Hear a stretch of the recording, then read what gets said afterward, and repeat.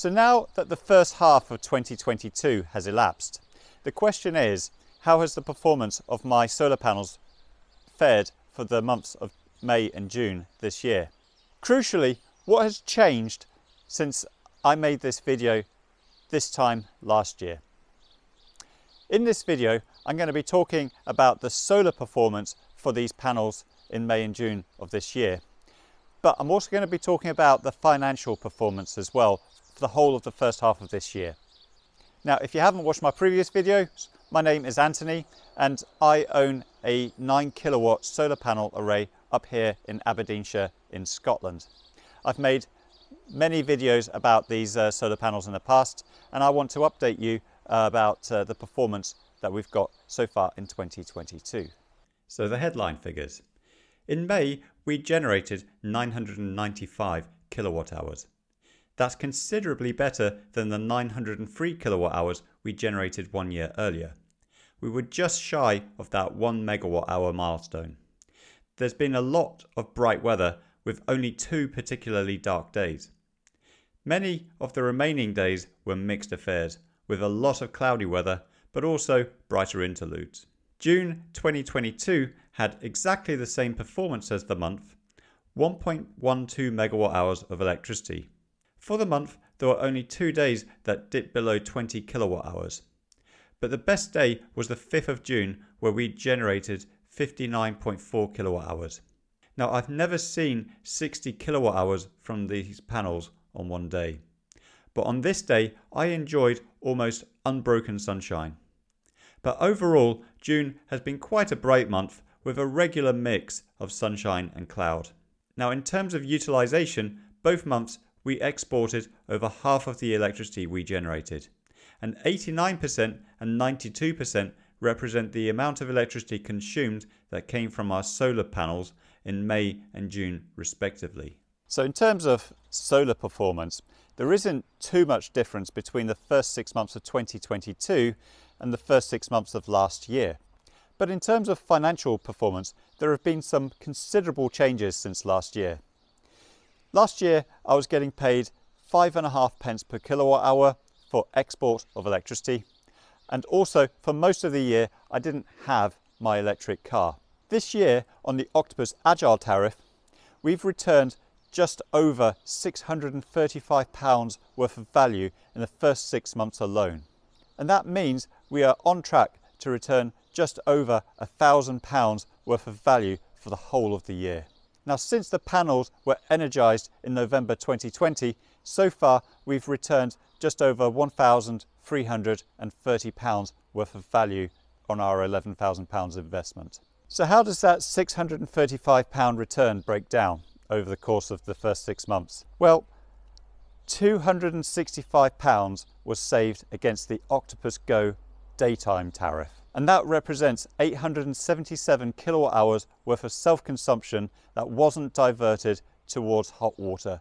Now, in terms of hot water, we saved 19 pounds worth of LPG consumption that wasn't used for heating up my hot water tank. And that represents about 230 kilowatt hours worth of electricity. However, the big surprise is that only 49 pounds worth of electricity was saved against the five pence per kilowatt hour overnight electricity tariff that you get with Octopus Go. And that represents 980 kilowatt hours worth of electricity. So most of my electricity has gone towards my electric car in terms of self-consumption, but it represents the smallest amount of uh, savings uh, that we've had from these solar panels. Now, Octopus Go is the tariff that I would be on if I didn't have solar panels. So it's fair to compare my savings against the Octopus Go tariff. However, I'm on the Octopus Agile tariff, and as it is, the import prices are much higher at 35 pence per kilowatt hour compared to the 24.69 pence per kilowatt hour that I would have otherwise been on with Octopus Go. As a result, that change in tariff represents a cost of an extra £22.70 pence uh, for additional import costs on the Octopus Agile tariff compared to Octopus Go. So adding all of that up in terms of self-consumption savings, we've managed to save around £311. But in addition to that £311 worth of savings, we've also got the value of exports on the Octopus Agile tariff. Now, so far this year, these panels have returned over £343 worth of exports at an average export price of 17 pence per kilowatt hour. Now, that average export price is over three times the export price that we had on the fixed tariff that we had before I switched to Octopus Agile last year. So even with an electric car in the household, we're still exporting huge amounts of electricity. So it really goes to show that there's a lot of virtue in having a large oversized array on your household. You're not going to get that extra electricity wasted in the summertime and it really helps in the cloudy days and also in the winter time with uh, reducing your electricity bills. So all my savings were measured against the Octopus Go tariff at a price of 24.69 pence per kilowatt hour. Now that price was fixed until October of this year and that would have been the price I would have been on if I didn't switch to the Octopus Agile tariff back in February. Now at the time of filming, if I was wanting to go back to Octopus Go, I'd now be paying over 40.5 pence per kilowatt hour and I'd be paying 49.7 pence per day in terms of standing charges. So when you compare that against the Octopus Agile tariff, the maximum price we pay there at the moment is 35 pence per kilowatt hour with a 21 pence per day standing charge. So it's hugely advantageous for me right now to stay where I am until the mid-autumn time. So what's been going on with electricity prices in the last couple of months? Before we start with the dark cloud, I want to talk about a couple of silver linings. Saturday, the 11th of June, was a remarkable day. We had a lot of gale force winds across the whole country. And this, combined with uh, a lot of sunshine at the same time, resulted in prices going negative for four hours in that afternoon. This was the first time that we saw negative prices since the beginning of 2022, where we saw negative prices for a few hours on a few nights. We also saw prices dip below 20 pence per kilowatt hour for large portions of uh, one week in May. And this also corresponded to a time where we had a lot of fresh wind plus a lot of solar power. So with lower consumption prices, we also got lower export prices. And when you had this combination of wind and solar, despite there being an abundance of electricity being generated from my own rooftop, I wasn't getting so much revenue. And the consequence was, was that I was actually getting more revenue in April uh, than I was in May for some weeks. Now, up until the middle of June, it was looking like this combination of wind plus solar could really peg down my prices. Then from mid-June onwards, the gas supply started to tighten up considerably. Supplies from Russia to Europe were suddenly reduced. This has resulted in forward contracts for electricity supplied next year suddenly shooting up. Wholesale spot prices are now routinely around the £200 per megawatt hour mark, and forward prices into October this year are hitting £300 per megawatt hour. Even on certain days later in June, where solar plus wind results in very little gas being consumed, the prices didn't come down anymore. So we could be seeing retail prices of 60 pence per kilowatt hour becoming the norm by this time next year. I have to say, I was really shocked to see the Octopus Agile prices of 40 pence per kilowatt hour being quoted to me when I was researching my notes for this video. It's fair to say, coming into wintertime, it's going to be pretty grim. And even with solar power, I'm not looking forward to the three darkest months of this uh, coming winter. So what can you do about it? Well, you can do what I did. You can install solar panels on your rooftop, but there's a problem. 20 months ago, these panels were about 80 pounds each. That's a 320 watt panel. Now you're paying about 167 pounds per panel. So it's over double the price, but the silver lining is, is that the output from these panels is about 400 watts, so a 25% increase. Now, my previous video on solar panel performance talked a lot about the supply shortages. And those supply shortages continue to this day. The solar supply chain still isn't anywhere near close to meeting demand for these solar panels. Polysilicon prices continue their upward march as mining capacity is unable to meet demand from solar wafer and solar module manufacturers. They, in turn, can't meet demand from solar wholesalers and so on.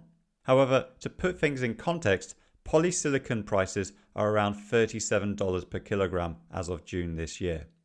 For historical context, polysilicon prices peaked in the year 2008 at around $460 per kilogram. This was a time when the market for polysilicon was expanding from only catering for silicon chip customers to one where the new solar industry demanded far more quantity. Since then, massive new investment has gone into polysilicon mining, with the result that both price and mining efficiency have improved. So this is what an energy transition looks like. Suddenly, everybody wants to have solar power. It's not just geeks like myself. Now, the reason why everybody wants solar power all of a sudden is because the supply of conventional sources of energy, in particular gas and oil, have uh, suffered a massive supply shock.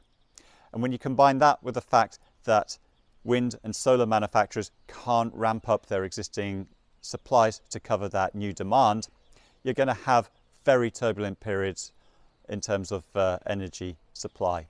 Now, technology transitions, especially ones that involve huge amounts of capital, like energy, they're always very turbulent. So in a post-pandemic world, we've seen the prices of almost everything going up dramatically. But there is a silver lining. Do you remember that silicon chip shortage we had last year in 2021?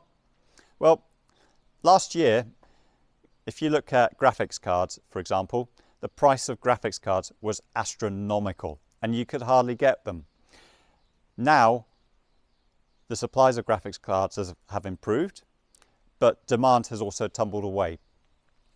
The price of cryptocurrency has gone down, which means uh, fewer graphics cards are needed for that. And the reason why cryptocurrency prices have gone down is because electricity prices have gone up. So not only has supply of graphics cards improved, but the prices have gone down dramatically. And we're likely to see that happen eventually, not this year, certainly not next year, with uh, renewable power. And then at the end of this transitional period, whenever that will be, maybe uh, five years time or so, um, we're going to see a period of uh, cheaper electricity prices and cheaper installation prices for, for solar panels. So the thing we can learn from all of this is that high prices can't sustain themselves for that long. Well, that's almost it for this video. But before I bow out, I want to present to you my new Solar Edge Energy Bank battery. Now, I had this battery mounted in May and it's now July. It's still not uh, fully commissioned. Uh, I am waiting some firmware for my inverter which can support this battery without voiding my warranty. Until that firmware is ready, uh, this battery is not wired up and operational. Now I was aware of this uh, before I took delivery and I accepted the delivery because the alternative was waiting until September for the next round of batteries to come along. But I'm hoping that uh, I'm going to have a much more in-depth video which looks at the installation and operation of this battery. And considering there aren't all that many videos, in fact I don't think there are any uh, videos at all about the performance of this battery. So this video could well be the first ever video on the internet uh, that has some uh, detailed info about this battery. But in the meantime, I'd like to thank you all for watching and I'll talk to you again very soon.